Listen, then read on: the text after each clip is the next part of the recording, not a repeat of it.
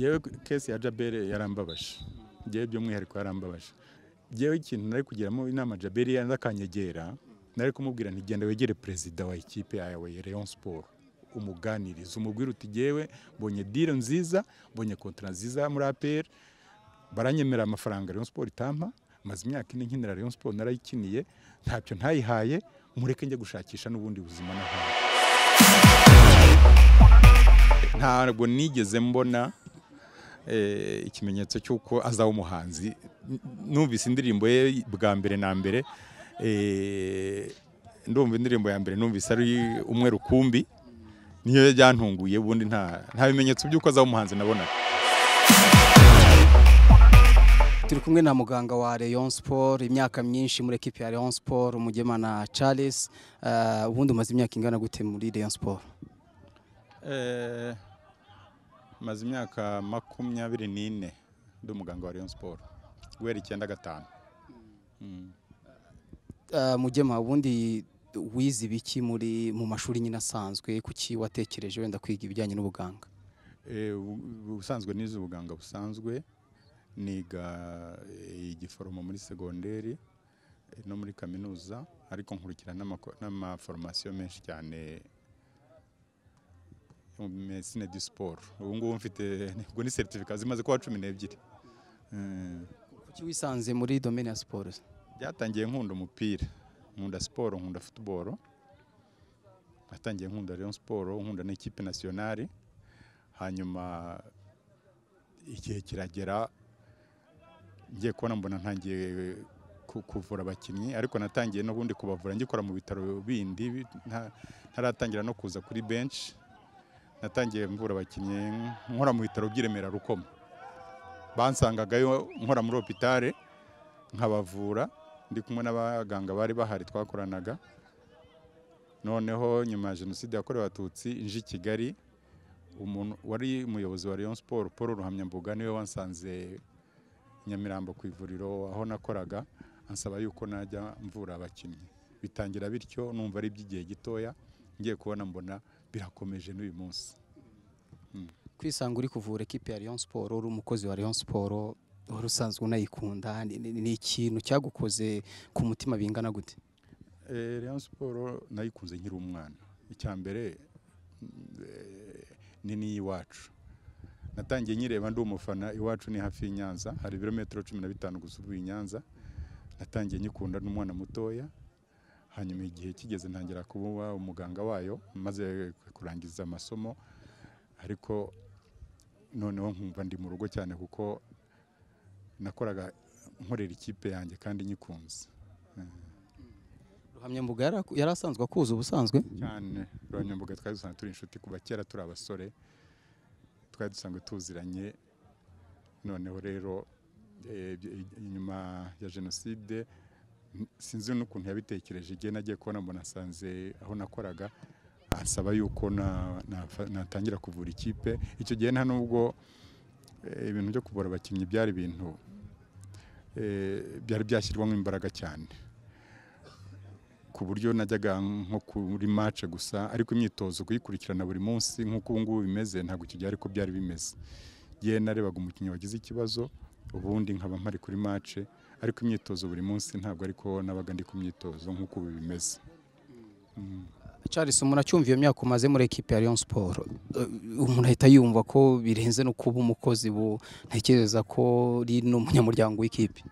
Nibyo ndi umunyamuryango mfite na karite y'ubunyamuryango nagiye njya no mu matora ya Rayon Sport nagiye njya no mu nama za Assemblée Générale nkagira uruhare mu gutora no mu gushyiraho abayobozi kubera ko nabaga mfite karite inyemerera kwinjira mu nama za Rayon Sport.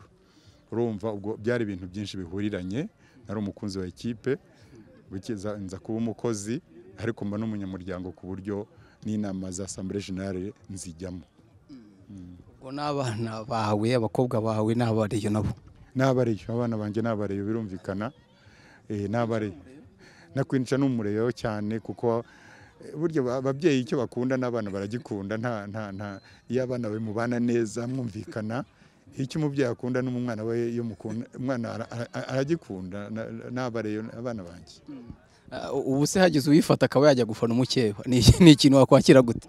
Nta kibazo byantera nta kibazo byantera kubera ko eh, mu muryango hari igihe umwana aba afite ibitekerezo bitandukanye ariko ntacyo byantwara jyewe ejo akambwira ati genda umufana wa kiyovu. Ejo akambwira ati genda umufana wa mukura genda umufana wa PRFC cyangwa na polisi n'izindi nta kibazo namugeraho n'ubundi yaguma akaba mu rugo najya mutsinda nkamwishongoraho nawe yantsinda nkemera nyine nkamugurira ko yantsinze. Abakobwa bawe mujya muzana kuri match cyangwa barakuze nyine bashobora kwi- kwizana kuri stade? Eh, nk'umukuru kwinica we urumva afite gahunda ze. Eh, aba afite gahunda ze n'ubundi aba arimo ariko hari match zimwe na zimwe cyane cyane izikomeye arazireba. Afite gahunda ze aba arimo afite imodoka ye. Afite abantu baganira eh, n'ubundi bahurira mu murimo akora. Hari n'igihe aza kuri match igihe ntabizi afite imodoka ye. Eh, ntabwo ntabwo gahunda ze nzimenya cyane. Nicyo gituma ntabwo mbikurikirana ariko hari igihe ngira nkamubona mu mafoto ahubwo hari igihe mbibona ku, ku, ma, ku ma social media ntigeze mubona mu kibuga. Yuko yari burya ari kuri match. Aracyaba mu rugo arahari.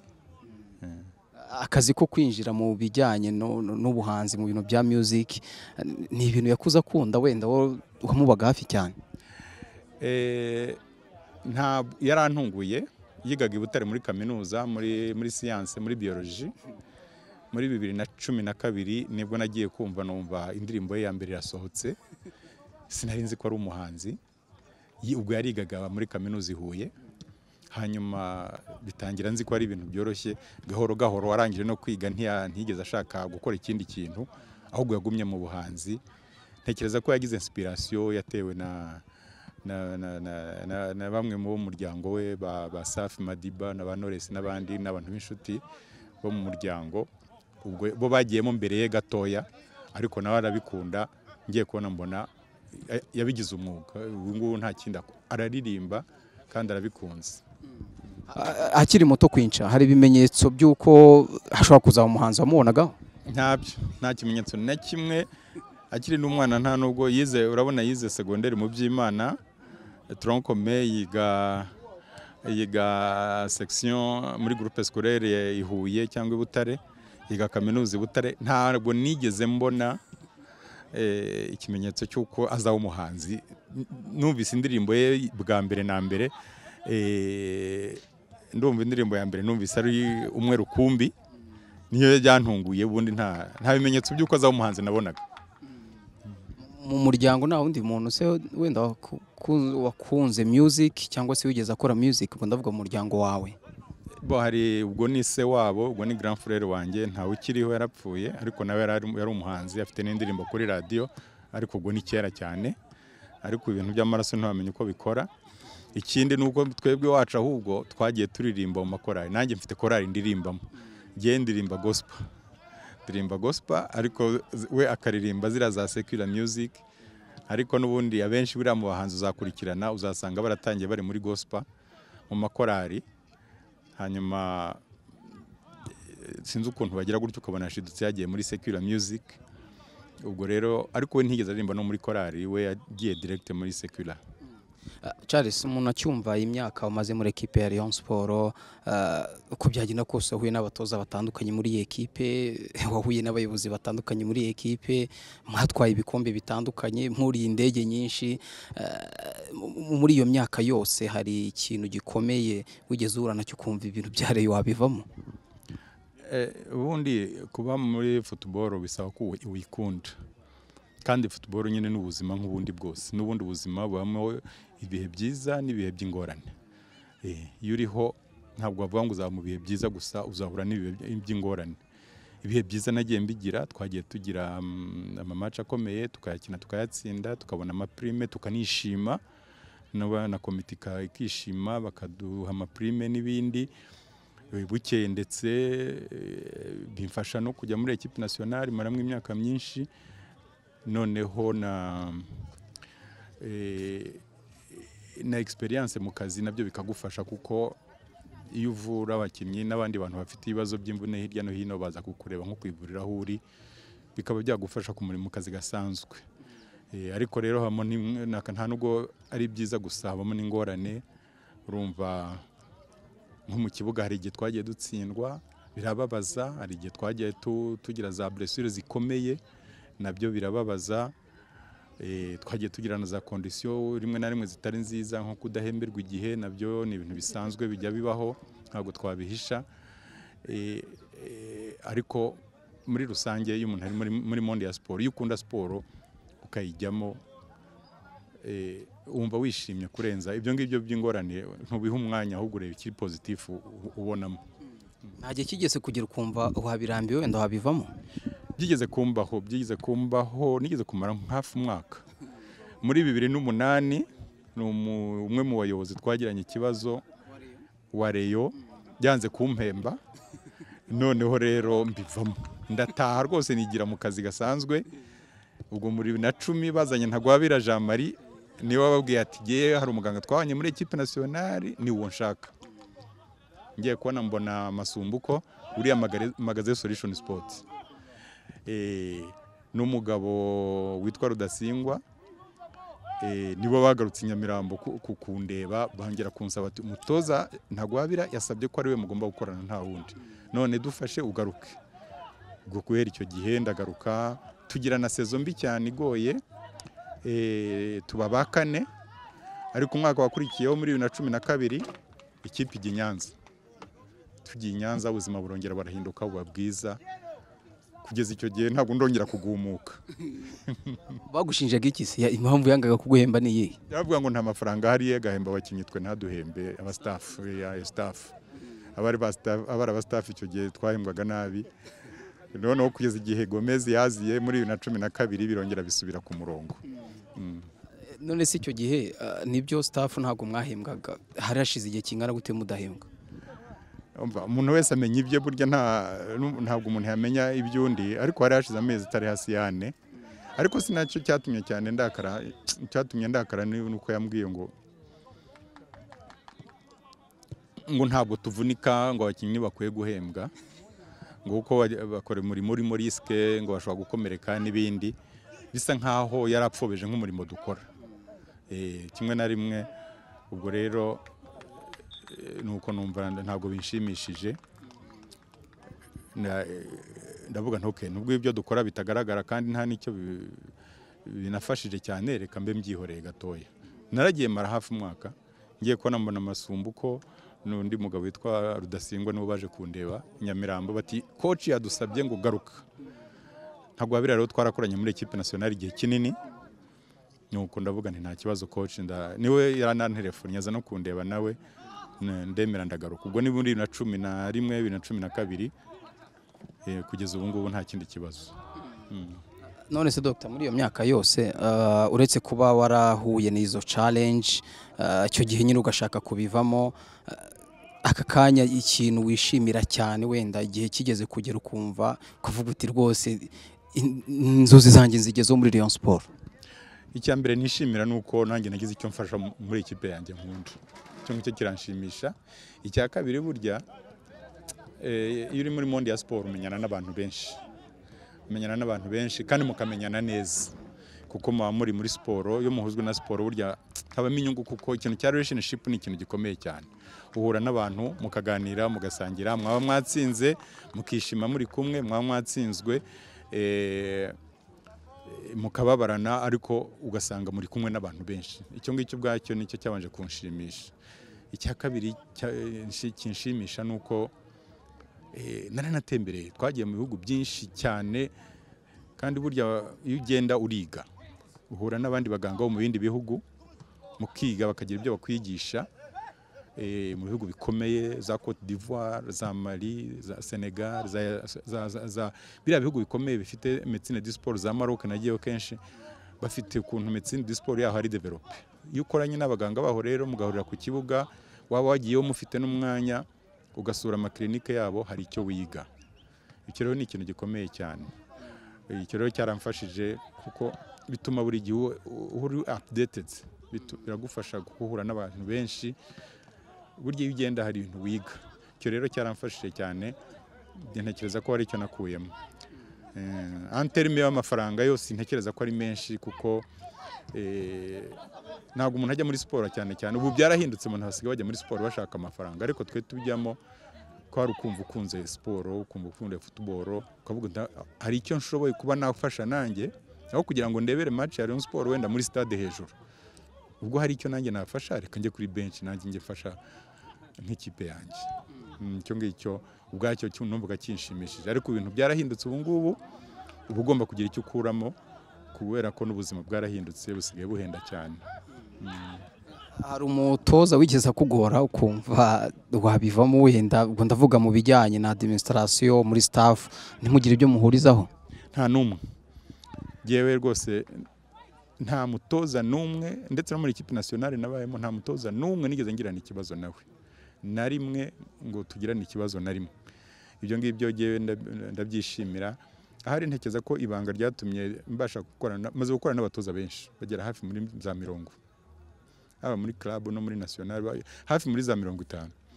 Icyo gihe rero bituma umenya kubana n'abantu. Ukamwubaha mu kazi ke nawe akakubaha mu kazi kawe. Noneho rero haba hari ikibazo akakubaza ukamubwira ukamuha raporo medikari akayigenderaho. Kugira ngo akore lisite ye mu myitozo wakurikiranye umukinnyi uburwayi bwe ukamuha raporo. Akakubaha mu kazi kawe. Nawe ukamwubaha mu kazi ke kwirinda kwivanga mu mirimo ye nubwo hari ibyo umuntu ashobora kuvuga kuko hari ibyo umuntu yabonaga areba iyo ureba wicaye n'inama nyinshi abatoza baba batanga nawe hari igitekerezo uba watanga ariko niyo wakimuha ukakimuha mu ibanga. Ntujye kumuvangira kuko ni umutoza yarabyigiye abifitiye amalisanse ye ugomba kumwubaha mu kazi ke.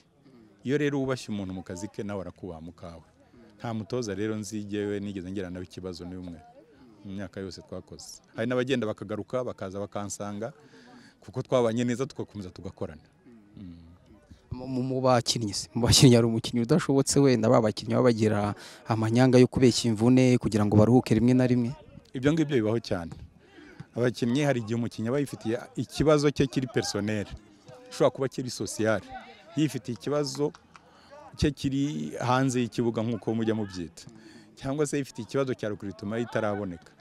Cyangwa yifitiye akandi kabazo ke n'umutoza cyangwa n'undi muntu. Noneho ntaze mu myitozo. Cyangwa akayikora abeshya ngo ararwaye.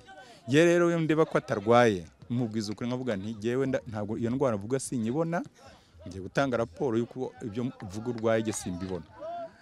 Hari rero nka ka nk'ebyiri cyangwa eshatu zagiye zibaho nkababwiza ukuri nkavuga nti uravuga ko urwaye jye simbibona ntabwo jye abaganga ntabwo turya ruswa burya njya numva ngo hari ahantu barya ruswa n'ibiki ariko mu buvuzi nta ruswa turya.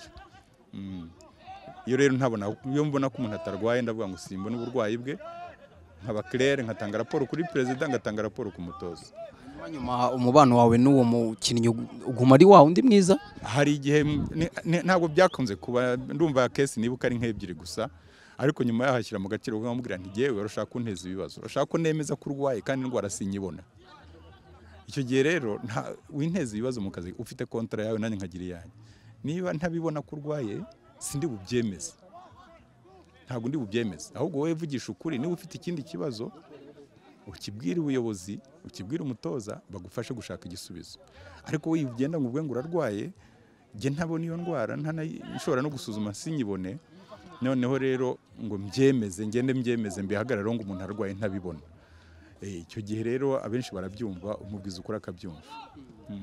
Mu bihugu umaze kugendamo yaba muri ekipe nasiyonari yaba muri ekipe ya Rayon Sport hari ahantu mwigeze kugera wenda ibiryo bikaba bishobora kunanira abakinnyi cyangwa se wenda bikaba hari nka kirima idasanzwe mwahasanze bigasaba ko hari ibindi mwifashisha? Ku byerekeranye na kirima ibihugu byinshi byo muri afurika birashyuha. Pe. Birashyuha cyane ibihugu byinshi byo muri afurika cyane cyane biriya bihugu byo muri afurika occidentale za mari twagiye gukina za nigeria kuri dogere zirenga mirongo ine. Na hano hafi mu bihugu duhuriyeho muri sekafa za sudani yaba sudani cyangwa sudani y'epfo ni ibihugu bishyuha cyane. Ku byerekeranye na kirima icyo kibazo twakunze kukigira. Ku byerekeranye n'amafunguro n'ibiryo abakinnyi bafata iyo tugeze muri hoteli aho tugiye kuba tubaha komande y'ibyo bagomba gutekera abakinnyi. Ariko hari igihugu kimwe twagiyemo cyitwa nigeria ni cyo gihugu bakunda urusenda cyane. Iteka iyo tugiye muri nigeria tumaze kujyaho kenshi na nasiyonari twagiriyeho rimwe muri bibiri na gatandatu dukinira mu mujyi wa abuja. Ariko bateka urusenda rwinshi. Nicyo kibazo duhura na cyo no muri sudani bateka urusenda n'ubu tuvuyeyo muri uyu mwaka twagiyeyo. Iyo ukigerayo urabibabwira kuko utabibabwiye bateka urusenda rwinshi bikananira abakinnyi. Ariko ibindi ibiryo biba ari bimwe ni imiceri ni amasipageti ni inkoko ni ibirayi bitogosheje ni imbuto. Biba ari ibiryo bisanzwe ibyo wongeramo ni byo bishobora guteza ikibazo. Ese ubundi Charles ibiryo nyine umukinnyi yagakwiye kurya umukinnyi yagakwiye gufata bikamufasha mu kazi akora ah, byuzuye mbese bishobora kumufasha ni nk'ibihe? Icya mbere nkwiye kuba naheraho umukinnyi agomba kunywa amazi menshi. Mbere yo kuvuga n'ibiryo iyo uri umusiporutifu ikintu cya mbere ugomba gukora ni ukunywa amazi menshi. Abakinnyi rero tubasaba kunywa amazi menshi. Ku byerekeranye n'amafunguro n'ibiryo byo ni ibyo ngibyo nakubwiraga cyane cyane. Bagomba kurya ibiryo bitarimo amavuta menshi kandi bakirinda ibiryo birimo viande rouge. Inyama z'inka inyama eh, z'ihene Eh, inyama z'ingurube. Hari abazirya hari abarya ingurube uretse abayisilamu wenda n'abandi nk'abadive n'abandi. Ariko eh, inyama dukonse abakinnyi kurya ni isamake isamake nta nubwo tuyibara mu nyama burya. Ariko nk'inkoko burya ni nziza. Nibyo bita viande blanche. Ariko ibindi ni ibisanzwe ni ibiryo bitogosheje bitarimo amavuta menshi bakirinda amafiriti ubundi bakarya ibirayi bakarya spaghetti ibiryo byongera imbaraga. Eh, bakarya imboga bakarya imbuto. Mm, ni ibyo ngibyo dukunda kwibandaho cyane eh, kandi bi- birabafasha ubusanzwe. Umukinnyi akwiye kuruhuka amasaha angahe ku munsi? Minimum ni umunani. Ariko aho yemeza akaba icyenda burya ni byo byiza. Ikindi kandi akaryama kare ayo masaha ntakwiye kuba nyuma ya minwi. Tuvuge ngo niba uryamye saa sita z'ijoro ukazabyuka ejo saa tatu ntabwo ari byo byiza. Ahubwo ibyiza umubiri burya uruhuka neza mbere ya saa sita z'ijoro. Ni ukuvuga ngo umukinnyi ntaba agomba kurenza saa tatu n'igice yaba yatinze bikaba saa yine.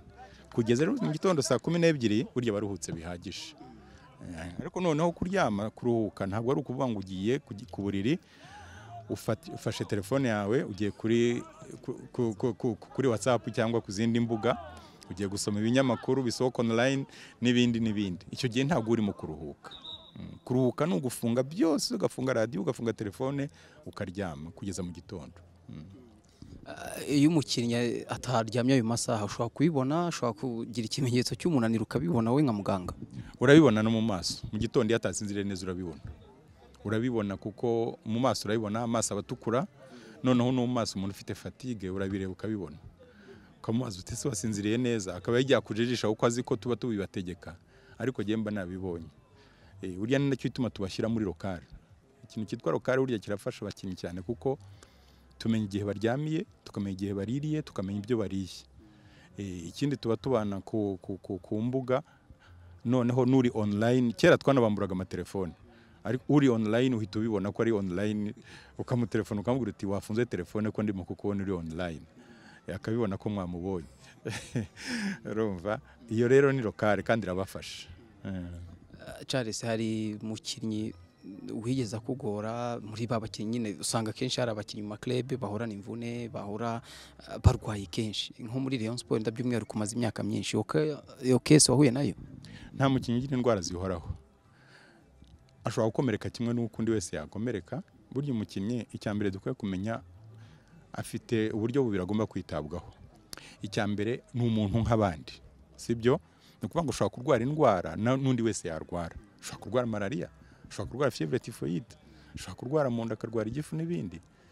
Ibyo ngibyo n'undi wese utari umusiporutifu yabirwara. Ariko noneho umukinnyi we hiyongeraho n'indwara zigendanye na siporo za blessure na za risike zigendanye n'umwuga akora. Gukomerekera ku bibuga n'ahandi n'indwara zishobora kuba zo ku mutima bigendanye na efora bakoresha ariko nta muntu ubaho ngo avuge ngo abereyeho kugira za blessure undi abereyeho kutazigira. Uretse ko hari abantu bagira nk'amahirwe nko muri kariyeri eh, ukabona akina imyaka icumi cumi n'itanu makumyabiri ntajya anakomereka ukabona ntajya anakomereka rimwe na rimwe hakabamo n'amahirwe eh, muri kariyeri. Hari imvune ikomeye yigeze uhura na yo muri kariyeri yawe? Iyo myaka yose umaze muri Rayon Sport cyangwa se imvune yabaye ukumva biragutushije ku mutima? Eh, imvune nibuka ni ebyiri nubwo hagiye habaho n'izindi zitakanganye cyane ariko muri bibiri kane turi kuri stade amahoro hari umunyakinya wakinaga iwacu w'umudefanseri yitwaga cox. Cox Mure yagize fracture verite y'akaguru yagize contact twarimo dukina na Mukura.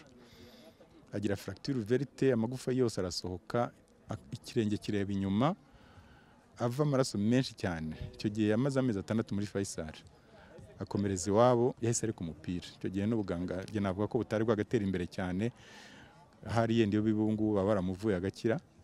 Ariko muri za bibiri kane yaretse umupira. Yaretse umupira ahitamo umumanageri uwo ni Cox. Noneho indi blessure ni iya Faustin.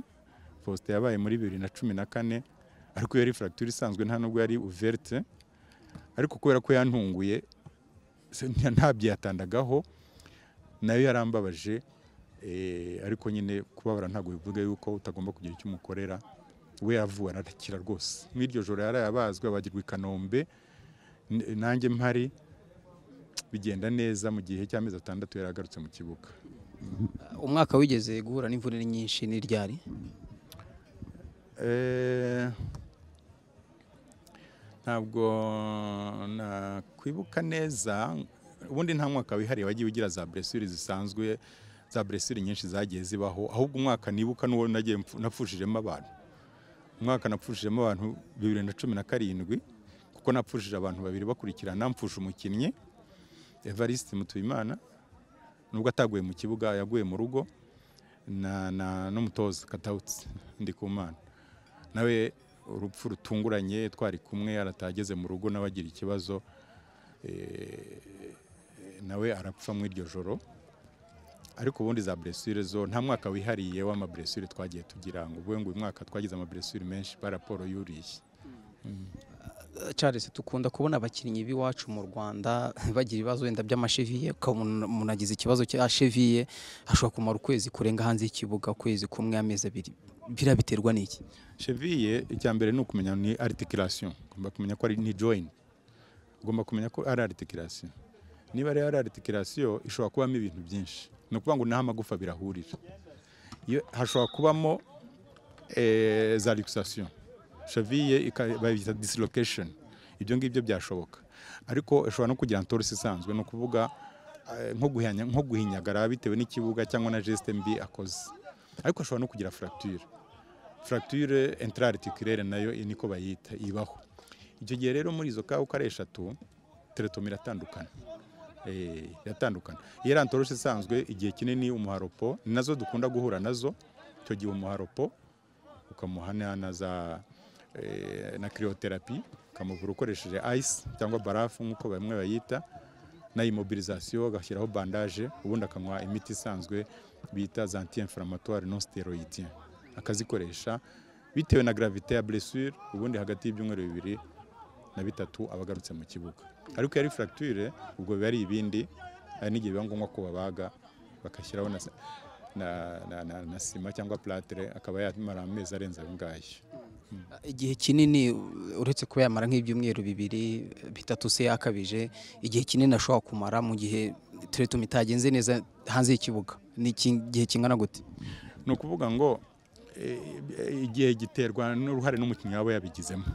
Kuko hari igihe umuha imiti za anti-inflammatoire nakubwiraga ntazinywe neza. Icyo ni kimwe. Hari igihe umusaba kwiropoza ntaruhuke neza. Kandi no kuvuga ku kwiropo k'umukinnyi ntabwo ari ukuvuga ngo ugiye mu buriri uraryamye. Hari imyitozo itagize icyo itwaye nk'iyo blessure. Ushobora gukora za abdomino si ibyo ushobora gukora za pompage izo ntabwo zibujijwe kuvuga ngo umuntu afite blessure ya cheville ngo ntiyemerewe gukora pompage cyangwa za abdomino. Ngira ngo niba babonye no hepfo aha ngaha ba mugeni na samweri barimo bakora za abdomino. Biriya ziremewe. Ntabwo ku mukinnyi ropo isobanura kujya mu buriri kuryama Eh, noneho rero agomba kubigiramo uruhare. Iyo atabigizemo uruhare ntabwo akira vuba. Ibyo umubwiye agomba kubikora. Urabona ntimuba mubana mu rugo. Niba umubwiye ngo ujye ushyiraho ice. Gatatu ku munsi ni urugero. Ukamuha oreri y'uburyo azajya ayikora n'iminota izajya imaraho. Niwe uzabyikoresha mu rugo iwe. Hari igihe agenda ntabihe agaciro. Noneho agomba gushyira mu byumweru bibiri ukabona bitwaye bitatu cyangwa n'ukwezi mu- mu gihe umaze muri iyi kariyeri muri iyi domene hari umukinnyi wigeze akugora? Babakinnyi bahorana utunyanga akaba akunda kurekarama kubeshya eh, hari iyo kesi urahura na yo? Oya iyo kesi ndumva ntayo nahuye na yo Eh, kuko abakinnyi bacu tugerageza kubedika kandi nabo bamaze kuba porofesiyoneri uramubwira akabyumva. Eh, akantu gaherutse kuba mu minsi ishize Jabel kujya muri APR akava muri Rayon Sport bivugwa ko agiye muri Gor Mahia ahindukira aragaruka eh, yisanga ari muri APR bamanzi Thierry ba Sefu. Ni inkuru yacicikanye. Wowe wabyakiriye ute? Yewe kesi ya jabere yarambabaje. Ngewe by'umwihariko yarambabaje. Jabere yari umukinnyi mwiza twazamuye tumukuye mu isonga abasha kugira izina riremereye. Ngewe ikintu nari kugiramo inama jabere yanze akanyegera nari kumubwira nti genda wegere perezida wa ikipe yawe ya Rayon Sport umuganiriza umubwire uti ngewe mbonye diro nziza mbonye kontara nziza muri APR baranyemera amafaranga Rayon Sport itampa maze imyaka ine nkinira Rayon Sport narayikiniye ntacyo ntayihaye mureke njye gushakisha n'ubundi buzima n'ahandi. Kandi ari amafaranga APR wenda impa sinzi ayo ariyo pesi nkubeshye ariko ntabwo muri buyagezeho akamubwiza ukuri. Jyewe iyo yangije inama niko niyo nari kumugira. Aho kugira ngo ajye icyambabaje ni uko yabeshya abantu.